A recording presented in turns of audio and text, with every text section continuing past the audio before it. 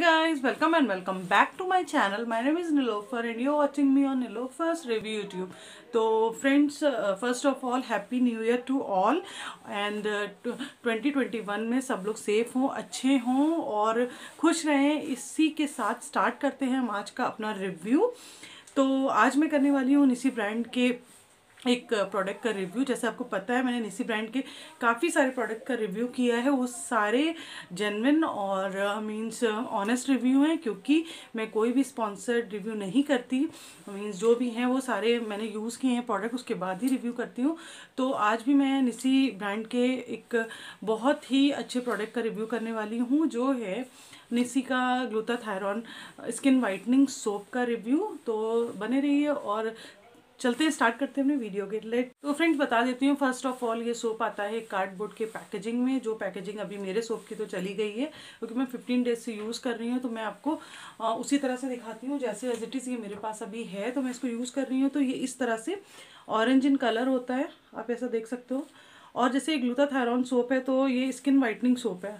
तो नाम से ही पता चलता है स्किन को वाइट करता है ब्राइट करता है और गोरा बनाता है। तो इस तरह से ये इनर पार्ट जो है वो मैंने आपको दिखा दी है। अगर आपको इसकी पैकेजिंग देखनी है तो मैं साइड में यहाँ पर लगा दूँगी तो आप देख लीजिएगा। और इस इस सोप में क्या क्या चीज़ें हैं वो भी मैं आपको बता देती हूँ। फ़र्स्ट ऑफ़ ऑल ये वेगन है ठीक है प्योरली वेगन है। सेकेंड थिंग इज़ दैट कि ये मीन्स uh, बजट uh, में आ जाता है क्योंकि ग्लोताथायरॉन के जो भी प्रोडक्ट्स होते हैं वो काफ़ी काफ़ी महँगे होते हैं। तो ये बजट फ्रेंडली है। थर्ड वन इसमें आपको मिलता है ग्लिसरीन और उसके साथ मिलता है ग्लूटाथायरॉन और आपको मिल जाता है पपाया एक्सट्रैक्ट तो ये तीनों ही चीज़ हमारी स्किन के लिए काफ़ी अच्छी हैं।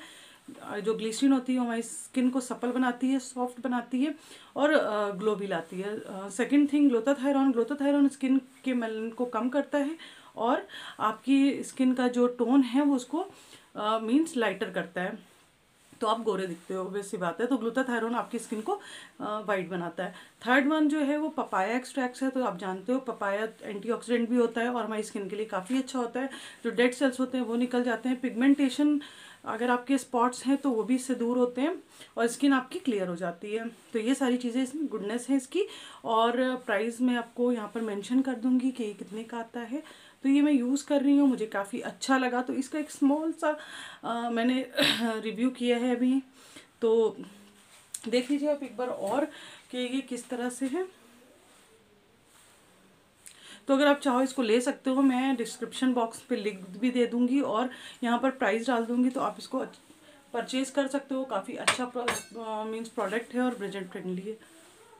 तो फ्रेंड्स आज का ये मेरा एक छोटा सा रिव्यू था जो मैंने किया था निस, निसी के ग्लूटाथायरोन के स्किन वाइटनिंग सोप पे और ये मेरे लिए काफ़ी अच्छा रहा है। मेरी स्किन काफ़ी अच्छी हो गई है और एक दो शेड लाइटर भी हो गई है तो मुझे लगा मुझे आप लोगों को बताना चाहिए।